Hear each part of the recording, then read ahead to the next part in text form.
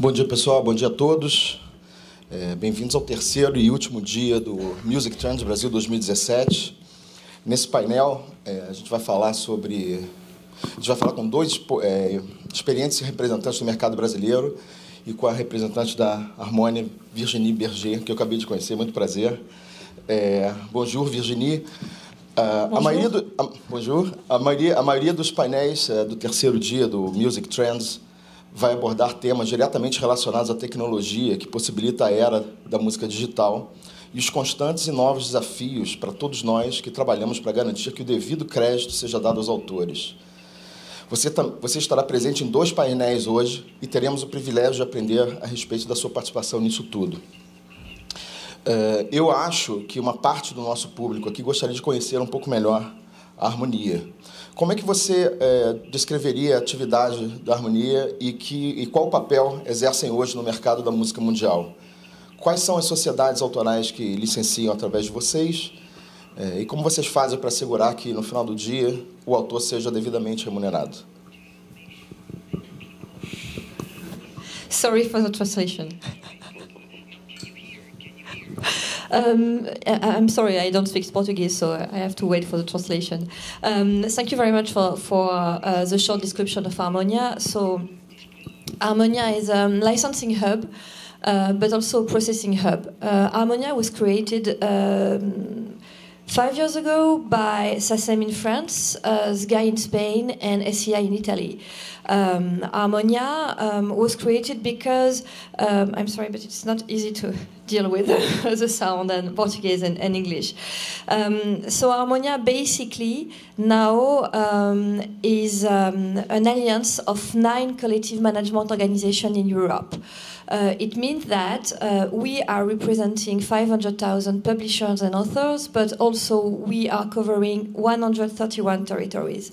The goal here was first uh, to be able to deal with DSPs. Uh, a DSP is a digital service provider, for example, Google, YouTube, Spotify, or Deezer are DSPs but also to increase the, the velocity of the financial flows uh, for our authors and publishers. Uh, because uh, we have two issues in Europe. First, the fragmentation, and I think in the rest of the world, but first, fragmentation of the repertoire, first, and also um, uh, the uh, multiple contact uh, and the multiple negotiations uh, we have to do with the DSPs. Merci, merci.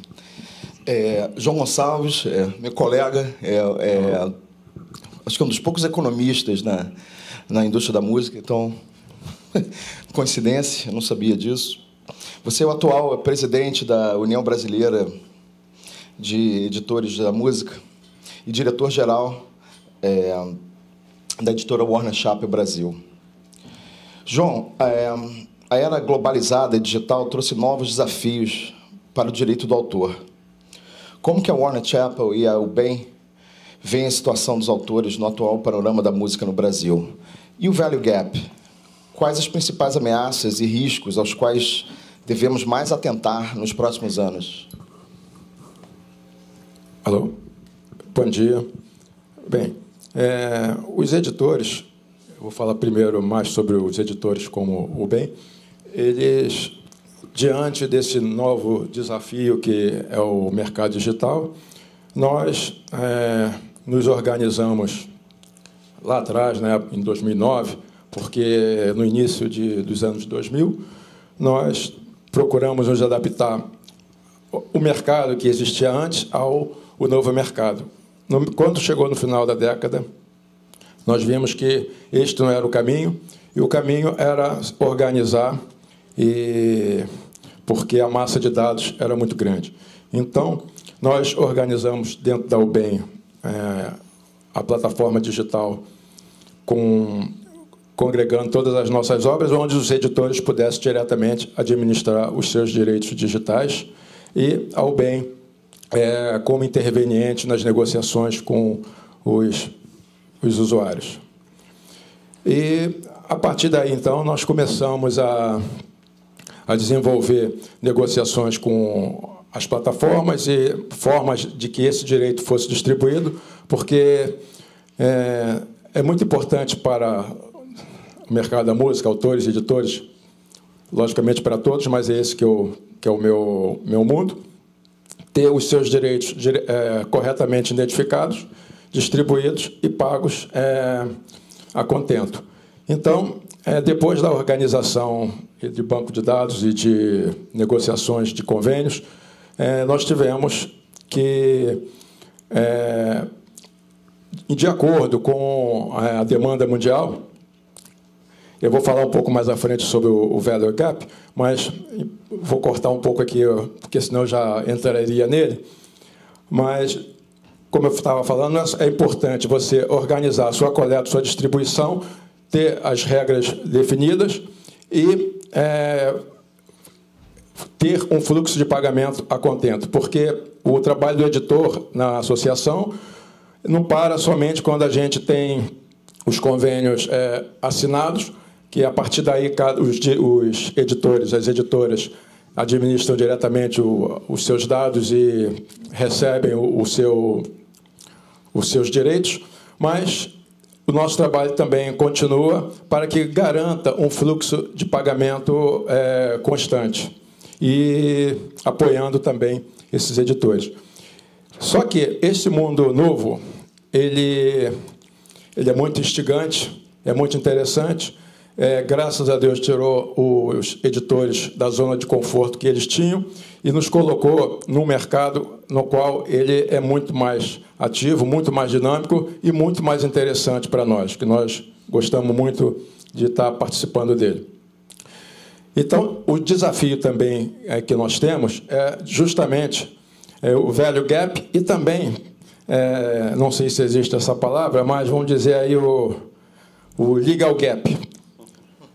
Porque o velho gap, na realidade, ele, em poucas palavras, o velho gap é a, a diferença entre o que o, o detentor é, da, das obras, do produto, da obra, seja lá o, o que ele usa, pensa em remunerar suas obras e o que os usuários pensam em pagar.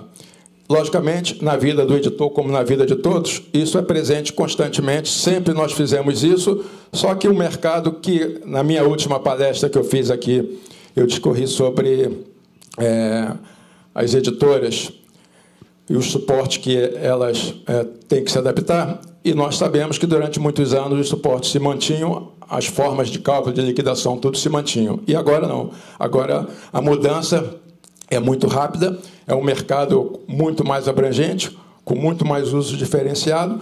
Então, a gente tem que estar é, se aperfeiçoando também nesse mercado. E uma das formas de melhor negociar é entender como ele funciona. Não só de negociar, como também depois de operar, porque o trabalho do editor também não para só nas negociações. Depois tem, temos que promover as nossas obras também.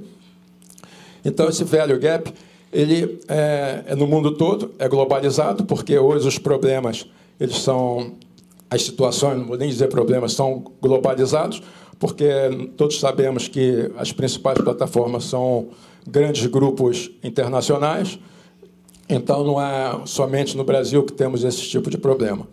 E cada problema ele tem que ser encarado nas suas, nas suas fases.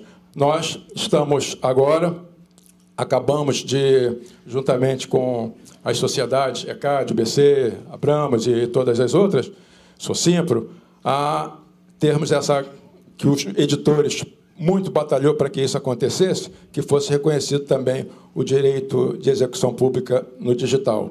Por quê? Quando eu falei no legal gap, uma das coisas que muitas vezes é usado pelos é, usuários é, são a falta de clareza nas leis. Isso também não é somente no Brasil. Sempre em algum país que a lei não esteja muito claro, isto é utilizado a, a benefício, logicamente, de quem é, quer pagar um pouco menos o direito autoral. Então, é, nós agora ultrapassamos essa etapa e é, o mercado ele tem se encaminhado para uma normalização em termos de editores, de é, passarmos a, a coletar o, os rendimentos. Só para ter uma ideia, eu não preparei números na minha palestra porque é, eu entendi que é mais de ideias e de é, plantar sementes nas nossas cabeças para a gente continuar pensando e desenvolvendo no direito autoral. Mas um pouquinho de número, só para ter uma ideia, de 2015 para 2014 para 2015, o digital dentro da, da UBEM, que foi gerado para os editores associados, cresceu 53%. E agora, de 2015 para 2016, 67%. Logicamente, esse crescimento exponencial ele não, foi, não é esperado para esse ano, porque a tendência, quando você começa a trazer DSP para a sua base de pagamento, aquilo entra numa normalidade. Mas não estamos deixando de crescer. Com nove meses já atingimos os resultados do ano passado. Então, esses três últimos meses é só crescimento. Só alegria. Só alegria. Bem, então, é... este, esta luta dos editores, elas, e como de todos nós, elas sempre continua e cada vez mais temos que é, ter conhecimento de como funciona esse mercado para desenvolver estratégia junto com o apoio das entidades é, internacionais, como a CISAC, que muito também tem se empenhado como um organismo é, de abrangência internacional, é, em apoiar é, as ações que visem é, reduzir é, esse legal gap. E um pouco sobre também, o, aí já como editora, é, um pouco também do que nós temos que fazer nesse mercado, porque o mercado, nós sabemos que depende também de ações dos editores para que as obras sejam é, potencializadas a sua remuneração. Então, o que, que acontece? Tem obras que são os hits que nós conhecemos, que estão agora se ligados, está tocando em tudo quanto é mídia, esses, teoricamente, andam sozinhos, mas não é bem assim. A gente, por eles andar sozinho, os editores também apoiam é, com as suas ações, é, oferecendo ou mostrando para potenciais usuários e outros potenciais usos, de forma a aumentar o ganho dessas obras. E um dos pontos também que a gente nunca pode esquecer que o editor ele também trabalha com catálogo. Nós não temos só obras do momento, nós temos catálogo. E nós não podemos nunca é, esquecer ou nos furtar de trabalharmos este catálogo. Então, o editor sempre está pensando em criações, em promovendo junto aos usuários estes catálogos também. Tá? Inclusive, uma das coisas, assim, só para ilustrar que eu tenho observado, é que existe alguns é, nichos, alguns gêneros musicais que utilizam bem mais a internet do que outros. Então, nós, como editores, ao detectarmos isso, começamos a instigar os nossos autores de determinado nicho a utilizar mais as mídias é, sociais.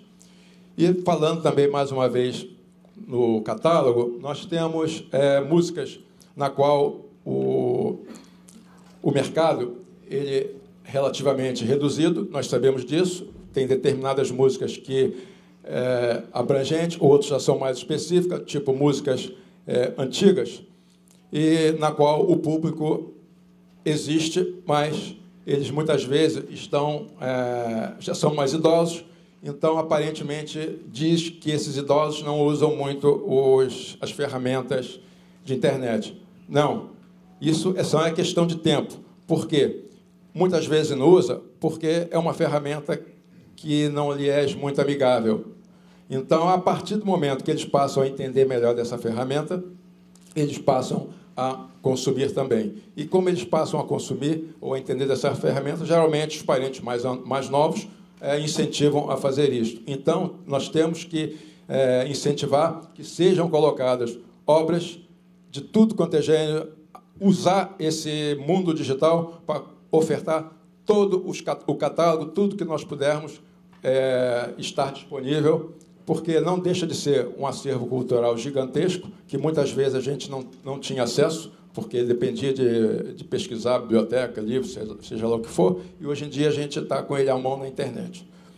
Bem, é, eu espero ter abrangido de forma sucinta o máximo que eu pensei em falar, mas eu agradeço a atenção de todos. Obrigado, João. Obrigado, obrigado. É, Marcelo Castelo Branco, bem-vindo. Marcelo é o atual Obrigado. é o atual CEO da União Brasileira de Compositores, a UBC, que é, hoje é a maior sociedade autoral brasileira com 75 anos de existência. Marcelo, você é um dos executivos de maior experiência na indústria da música no Brasil, admirado e respeitado por todos. Com sua participação, com a sua ativa participação no Brasil, no Chile, na Espanha, você é parte integrante de como o nosso mercado se desenvolveu nos últimos 30 anos. Agora na UBC e, entre aspas, do outro lado do balcão, sabemos que você tem uma visão otimista da, situa da situação atual e dos próximos capítulos. O que, que você tem visto nesse teu período com a UBC, nas suas andanças internacionais, especialmente nessa tua recente ida à Europa para os encontros uh, com a Confederação de Sociedades de uh, Autores e Compositores, a CISAC? Afinal, o que, que vem por aí? Bom dia, bom dia. Ainda bem que o, que o João é tímido, né?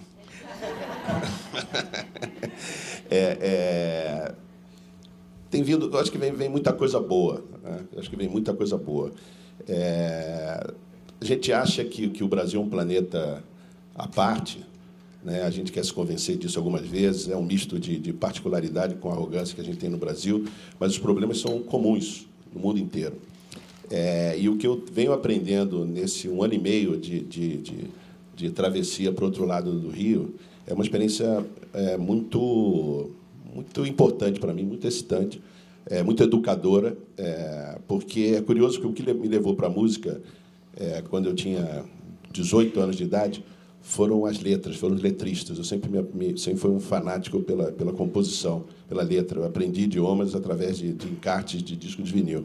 E, para mim, é, agora, ter essa responsabilidade é um, um, um, um retorno, é voltar um pouco para minhas raízes, mas olhando para o futuro. É, dentro da CISAC, eu aprendi é, que o mundo. Hoje, a CISAC é uma, é uma organização que reúne 240 sociedades de gestão no mundo inteiro, é, em todos os continentes. E a gente debate todos os continentes constantemente, todas as situações, seja América Latina, seja Ásia, é, é, seja África, por exemplo. Então, é, existem grandes desafios pela frente, grandes desafios. Você tem é, Europa, Estados Unidos, logicamente o Brasil hoje representa a, a, execução pública brasileira é a sétima maior do mundo, o que é um número bastante expressivo, né? É, através da nossa arrecadação do ECAD e das sete associações que formam o ECAD.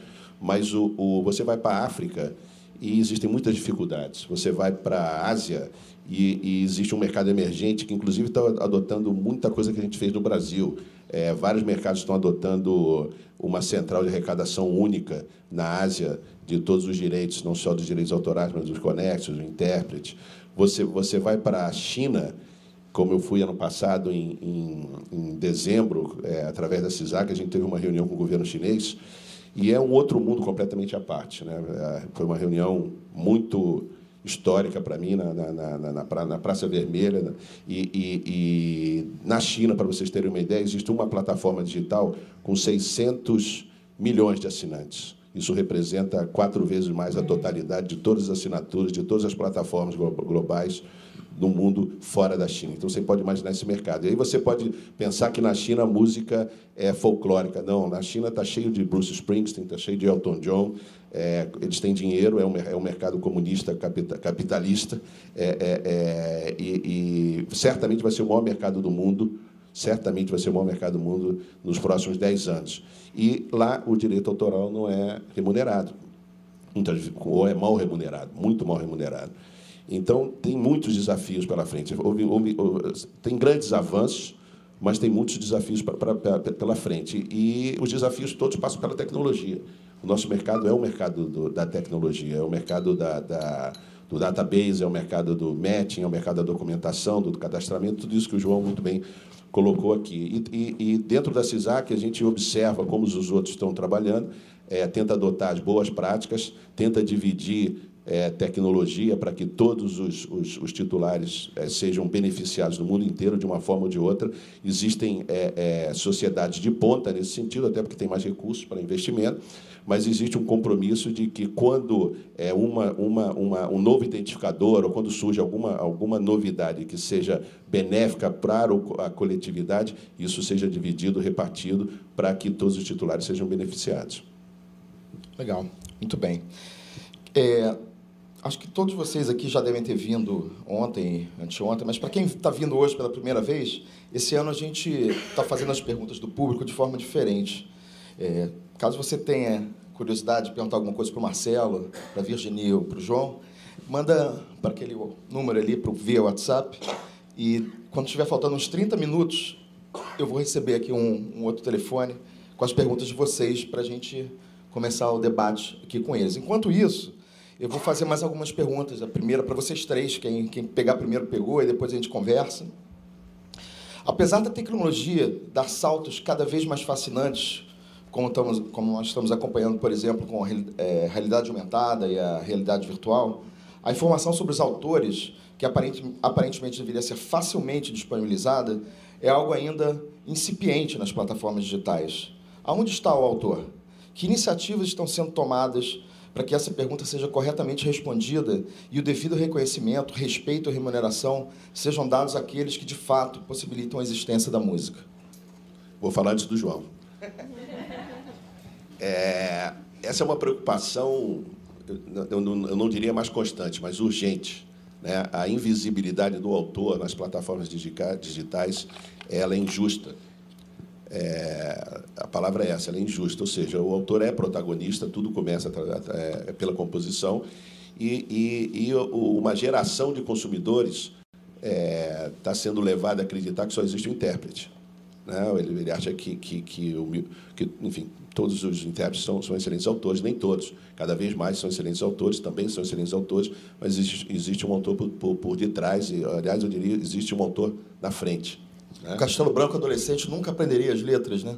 Não, teria, teria tremenda, teria tremenda dificuldade hoje, até porque os sites que disponibilizam a, a, autoria muitas vezes disponibilizam de forma equivocada. Então, essa é uma preocupação nossa, é uma preocupação, logicamente, de todos os autores é, é, é, uma preocupação da CISAC também, a gente tem feito movimentos. Eu vejo uma preocupação crescente das plataformas, eu tenho que dizer, é, é, de, de, de, vejo movimentos e iniciativas isoladas e iniciativas em construção para se dar uma visibilidade. Eu acho que é um problema ainda da, da, de, uma, de, uma, de uma indústria digital é, é, na sua primeira infância, de certa maneira, e que certamente vai ser, vai ser melhorada e vai ser, e vai ser adotada para que a gente possa é, é ter mais informação e, e, e, disponibilizar essa informação no meio digital. Isso seria fundamental. Mas tem muita preocupação nesse sentido, das editoras eu vejo muita preocupação nesse sentido, e vejo uma sensibilidade cada vez, cada vez maior dos DSPs para corrigir essa disfunção. E tem uma coisa assim que eu queria é, é, falar, quando a gente fala da tecnologia, a gente vai falar, vocês vão falar de tarde do Bitcoin, vão falar do blockchain, que a Virginia, enfim, tem muita informação e conhece, mas eu acho que tem uma tecnologia que a gente tem que adotar cada vez mais, que é a tecnologia da solidariedade. É, a gente está cada dia inventando mais é, é, maneiras, através da tecnologia, de facilitar o trabalho, de identificar a obra, mas se a gente não for movido por essa tecnologia tão simples, tão banal, como a solidariedade, para que todos todos dentro da cadeia da música sejam devidamente é, é, identificados, remunerados, ou seja, que, que, que até o, o Mano está aí, eu sempre falo para ele que o autor é, é precisa de, de, de, respeito, de reconhecimento, de remuneração. E ele sempre me lembra do refrão. Né? Precisa do refrão também, senão a música não, não, vai, não vai acontecer. Então, eu acho que é fundamental que, que todos trabalhemos com essa, com essa tecnologia tão simples, tão banal, tão inata do ser humano, que é a solidariedade, porque as outras têm que estar a serviço dela. Muito bem. Vamos lá. Bem, eu, eu concordo com o Marcelo e gostei muito quando ele falou, porque eu estava aqui pensando na luta que nós, como editores, sempre tivemos e agora, nesse mundo digital, a gente também está tendo, que é, é os créditos, corretos créditos aos autores. E ele disse muito bem, está na primeira infância. E lógico que nós tivemos outros desafios, que eu já mencionei, e esse também é, está entre os desafios que nós temos. Muito bem. Virginie? Actually, the baseline of Harmonia is fair deal for everyone, so you can join us if you want. um, when we um, uh, when we created Harmonia, Harmonia first was a licensing hub. So as I said, uh, it was Sky, SCI, SACEM, so Italy, uh, France, and Spain. And then Sabam from Belgium, I came in Austria, uh, Suiza in Switzerland, uh, Portugal, but also Artisius in Hungary join us. So, um, as I said, the baseline is fair, for everyone. So, it's how to help composers, authors, and publishers uh, to increase uh, their um, financial streams, but also to get better exploitation of their work and better identification of their work. Because, as you said, it's technology and identification. So, soon after the launch of the licensing hub, we launched a back office. Why? Because we needed to increase the identification, and we're still working on it. So our back office um, is based on two parts. First, it's um, a quality gate, it's cleaning and um, reporting processes, but also format, because as you know, it's just it's also a mess in terms of format and invoicing, and it's metadata enrichment. And yes, the goal is always to increase the identification and we're still working on it. And for me there's two keywords is um, real time. So real time identification and real, real time um, payment. But it's also inter interoperability really being able to work with all the platforms, being able to work with the DSPs, with the publishers, but also, also with the distributors, with the aggregators, because they don't share their data, and we don't know what, what, what they use most of the time. So um, technology can help us. For example, we'll talk about blockchain, as you said. Uh, so blockchain can uh, just blockchain is not a technology, just to be clear. Blockchain is just an innovative solution that helps building technologies. And we can have billions and billions and billions of blockchain, so blockchain can help us. We also have issues with ISRC and ISWC. So technology can help us, um, fair deal for sure. Um, and we all need together, when you said it, it was solidarity, you said? Yeah, really, we, it's interoperability for me and we all need to work together between publishers, CMOs, uh, DSPs, um, distributors. I know it's not really possible now, but it's, it's a technology we need to put in place. Muito, muito, muito obrigado. Estou aprendendo um pouco ainda, que o negócio da tradução tem que dar um tempo, né? tem um hiato. De... é, João Virginie, um dos sintomas atuais da, da era da música digital é o destaque do conteúdo e dos mercados da América Latina. Estima-se que ao redor de uns 20% dos assinantes pagantes nas plataformas de streaming sejam de territórios latam, da América Latina, e que, dentro disso, ao redor de um terço, mais ou menos, seja, seja do Brasil. Quais as atuais tendências de performance no streaming que vocês têm observado na região? Como é que nós estamos trabalhando para que os sistemas estejam devidamente preparados é, para corretamente processar e pagar os rendimentos a que os criadores têm direito? Bem, realmente o mercado nosso brasileiro ele é um dos mais fortes da América Latina e, um dos mais importantes também é, do mundo. E nós, é, na, na, parte de identificação e pagamento dos direitos, isto nós estamos com tranquilos é, a ferramenta que nós temos, que foi desenvolvida através da UBEM com a back-office, ela está funcionando perfeitamente. Nós, os usuários nos mandam o, o data user e nós identificamos as nossas obras e os editores cobram é, as suas obras.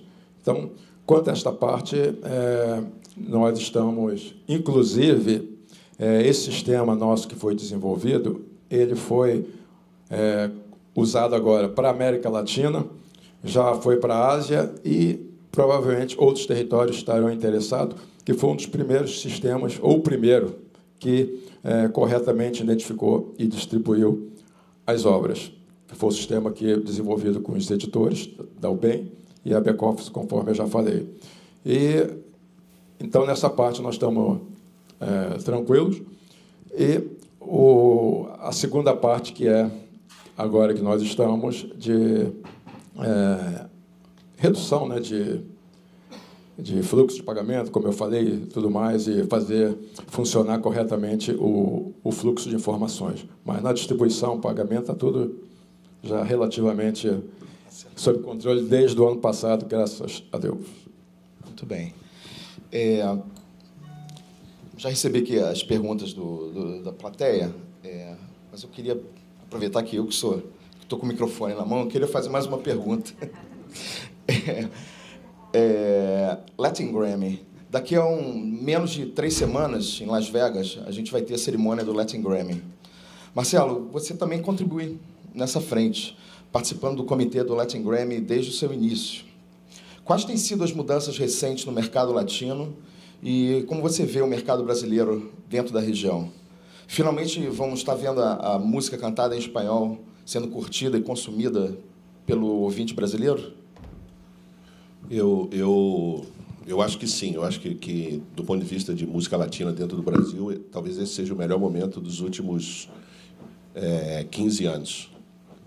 Ela teve, um, ela teve uma entrada no Brasil com artista cantando em português, principalmente, né? e hoje, o que eu acho hoje absolutamente dispensável, desnecessário, indesejável, né?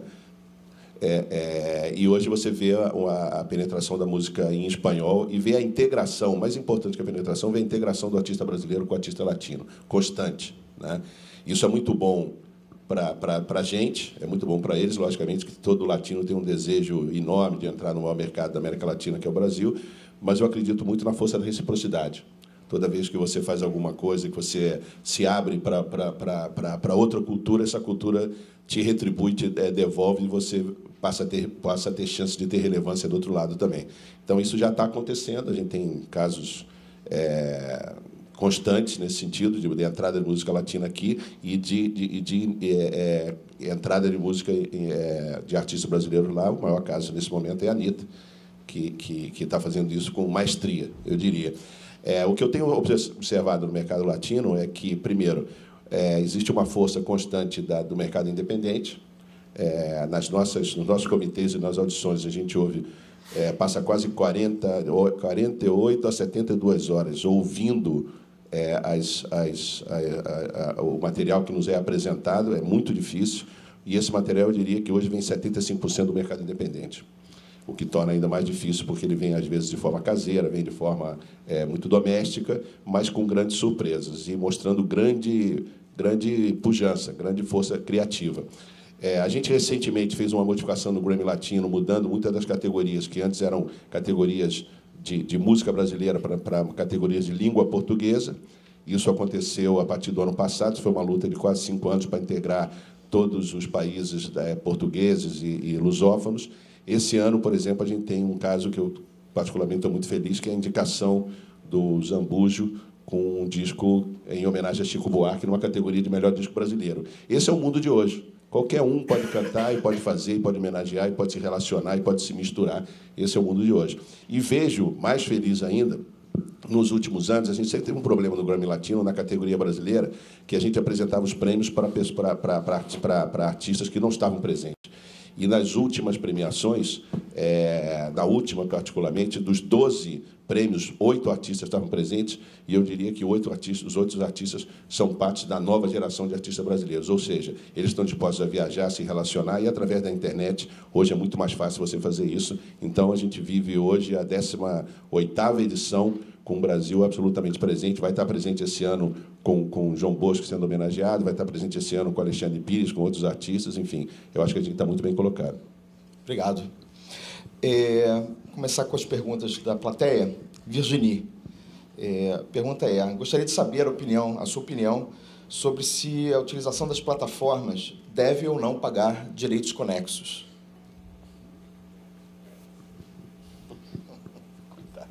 Uh, actually, you're asking me if, if we if we have to ask the platform to pay more. Uh, it's a question.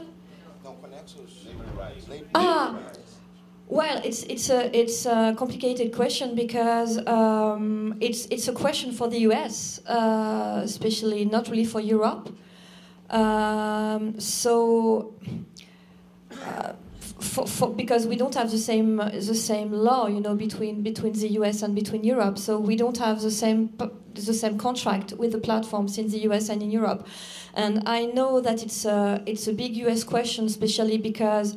Um, uh, Spotify is suing now, um, and um, it's uh, the Lovery case. I think they have uh, uh, many they are on trial now. So, uh, from my personal point of view, because I can't. I can't talk for Harmonia because in Europe, as I said, we don't have the same uh, the same issues. Yes, yes, because because as Marcello said uh, about the composers and songwriters, there are, we, have, we have trouble here, we are in trouble, they are in trouble. Uh, and uh, so, yes, yes. But in, I mean, in the US, it's quite, it's quite the far west. The market is, is really the far west for, for the artists, I mean, for the creators, for the authors, composers, publishers, and also publishers different, but also for, for the artists, really. Um, so yes, they should be paid. But Spotify said that they are trying to find solution in terms of identification, but also in terms of rights. So maybe they will increase the rates, or they will create something.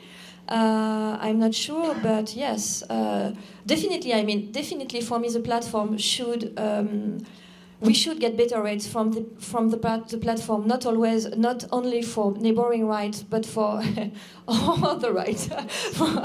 yes, really. always yes. Yes, yes. Obrigado, João. É, como utilizar uma obra que supostamente é um domínio público e que não conhecemos os autores? Estou lendo como veio. Dá para filtrar, não? São as perguntas fáceis, né? Bem, quando nós não conhecemos os autores, é, o, que eu, o que eu digo é que tem que procurar é, no país de origem, se não for uma obra brasileira. E se for brasileira, hoje em dia existem várias, várias ferramentas de pesquisas que você consegue é, buscar. No mínimo, mandar um e-mail lá para o BEM, que circula para os editores, os editores vai tentar ajudar. Agora, é, o que eu posso dizer é o seguinte: tem que pesquisar e procurar, porque o correto é colocar os créditos do editor, ainda mais pensando no editor que nem estaria mais, nem está mais aqui com a gente, é, seria no mínimo é, que nós poderíamos fazer para homenageá-lo é disponibilizar a sua obra, que é uma grande homenagem também, e corretamente identificar os seus créditos. Tem que pesquisar. Tem que pesquisar, isso aí. Tá. Não temos um local é, centralizado que diga isso. Nenhuma resposta definitiva, pelo que a gente está vendo, né? Oi? Nenhuma resposta final e definitiva. Eu gostaria de ter essa resposta final, porque ia também facilitar muito a nossa vida, mas nós não temos. O que Legal. nós fazemos é pesquisar, buscar, procurar. Exatamente. Porque muitas vezes a obra está é, em domínio público, mas como você faz um novo arranjo, você tem direito sobre aquele arranjo. Então, para você fazer isso, você tem que pesquisar e descobrir. A gente não vai colocar nada se não tiver identificado corretamente. corretamente é. Virginie, é, eu sei que você vai participar de um outro painel daqui a pouco para falar sobre isso, mas já que a pergunta veio, é, se você puder falar um, rapidamente também aqui, é, vocês estão pensando no uso do blockchain no seu negócio? Como vem a possibilidade de uso dessa tecnologia?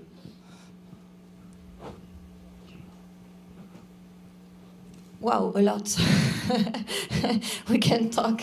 We can talk during the weekend if you if you want to stay maybe two days more. Um, no, blockchain, um, we have to be very careful because I receive, seriously, I receive every day maybe 10 emails saying that, okay, we are a new startup and we are going to save the world of music and the, the music industry because of blockchain. Okay, great, every day. Most of the time, um, it's um, startups with a team who uh, doesn't know um, what is rights or who uh, doesn't know um, or who doesn't have a database, and most of the time they want to download our database, really, uh, to do their test. So I receive a lot of emails about blockchain and about blockchain, how blockchain will save the world without giving me or without showing me how it works, without showing me a proof of concept, for example. So we also, we also have to be very careful because there's a, there's a huge hype, you know, um, about blockchain, and most of the time we have no proof. We have no proof of concept. It's on low. It, it's it's very interesting talk. about blockchain, and, and now, yeah, we are a new startup and we are going to save the world. Yeah, great. But most of the time when we have meetings, it's, yeah, maybe we can download your database. Okay, so what is your monetization? How you would like to use our database? And if Google, for example, if Google buy you, what would you do? With, what would you do with our database? So it's, it's a lot of questions, but yes, to answer the question, um, blockchain is very interesting because as I said, uh, when you work in the music industry, you have the composer, the writer, the publisher, um, do-it-yourself artists. It's very interesting for indie artists and do-it-yourself artists. Um, you have a CMO, you have um, um, aggregators or distributors, and it's very difficult sometimes to just to track um, uh, a song, for example, or to identify a work. So blockchain, we, we have to find niche for blockchain because it's for me it's not real to say that blockchain will save the entire world of the music industry from the author to the publishers to the distributors, for example. It's not possible at all. Uh, not now, I mean, and even in the future, would you like to protect your contract, your rates? I mean, you, we have many things to deal with before, but blockchain in some niche, if you find the right niche, it can be very, very interesting. And we talked about identification of the work. Yes. Yes, really. Also to follow track, to increase the payment, the real-time payment. I mean, we can find many solutions for blockchain, but it's we really, really need to find where in the in the music ecosystem. Obrigado. Quem quiser ouvir mais, daqui a pouco a Virginie vai voltar para o palco para falar um pouquinho mais sobre blockchain daqui a pouco. É, a próxima vem do, do Fernando da Abramos, para o João e para o Marcelo. A grande reclamação dos compositores com relação às distribuições no ambiente digital são, é, são os percentuais destinados para a obra. Qual a posição de vocês com relação à divisão dos valores, onde o maior valor fica para o fonograma? Bem, Não filtrou mesmo, né? Na realidade. Não filtrei mesmo na realidade, pode-se pensar também por outro lado. Porque, é, voltando, é, nós, a nossa lei, ela até há pouco tempo, como eu falei, felizmente já foi pacificado, foi uma luta dos editores também. É, ela não era bem clara, como não é, mas agora está definida pelo Supremo, sobre a existência do direito de execução no digital. Isto em qualquer área dentro da, da indústria da música, seja dentro das editoras, dentro das gravadoras, é, dentro dos autores, advogados, enfim, todos. Sempre você vai iria, encontrava alguém que era a favor de que tinha e outro entendia que não tinha. E os editores é, prontamente é, arregaçaram as mangas e batalhamos para que isso fosse reconhecido. Tá? E não podemos esquecer que geralmente o ECAD cobra 2,5%. E o, com essa luta que nós tivemos, no, no, na execução pública de streaming, de digital, está sendo 3%, quer dizer, maior do que se cobra até para as emissoras de televisão. Tá? Então, é, eu não vejo é, nenhum, é, como se diz, prejuízo para os autores. Ainda mais que os autores, no caso, recebem os 100% do direito autoral, que foi a principal luta que nós tivemos, garantir que os nossos autores recebessem, igual os autores no mundo todo, 100% é, do direito é, atribuído para a sua obra. É, eu, eu acredito que, que, que eu acredito mais em vencer batalhas do que vencer guerras, né? Como eu estava dizendo, eu acho que esse é o mercado é, da primeira infância. A gente vem evoluindo bastante, bastante com relação, com relação à execução pública no mundo digital. É, vejo que a gente está atrasado. Eu identifico muito, a, a, no caso da gente aqui no Brasil, a, a, execução pública no digital muito parecida com como eu vi as gravadoras há 10, 8 anos atrás. Ainda tem muita coisa para fazer. Tem muito processo para fazer. Tem muita, tem muita, tem muito o que aprender. E o, a gente tem que começar de alguma maneira. E o começo é, é, é, é da maneira como está, do ponto de vista de, de, de, de remuneração e de divisão. o que já é um grande avanço em relação ao que estava, ou seja, a gente tem feito grandes avanços nesse sentido. É, esse é um coletivo, editora, autor, sociedades, que está condenado a trabalhar juntos. Né? No bom sentido, a gente está condenado a trabalhar juntos. Os interesses, nossos interesses comuns são, são enormes. Então, eu acredito muito que, que no processo e no trabalho e na convivência e na experiência, a gente vai evoluir sempre para melhores soluções. E todas essas soluções têm um interesse comum, que é o autor. Assim como o João colocou, nesse momento, tudo que a gente conseguir é fundamental, é prioritário que o autor seja o, o maior beneficiado deles. A discussão sociedade, editora, com que, com que share você tem, é uma discussão, nesse momento, para mim, secundária. A discussão prioritária é você beneficiar o autor. De que maneira você pode melhor beneficiar o autor. A outra discussão é uma discussão que ela vai evoluir, ela vai acontecer, ela pode não acontecer, ela pode ser resolvida, ela pode não ser resolvida, depende do, do, do, de uma série de coisas, depende muito da eficiência do próprio sistema também.